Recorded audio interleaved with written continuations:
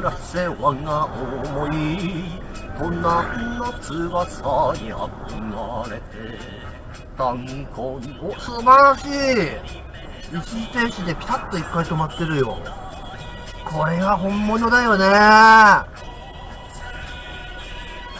あ当たり前のことなんだけど素晴らしいよ今の。いやーダイヤさんちょっとあらららららららほどほどそこバーカまったくまあどうしようもねえな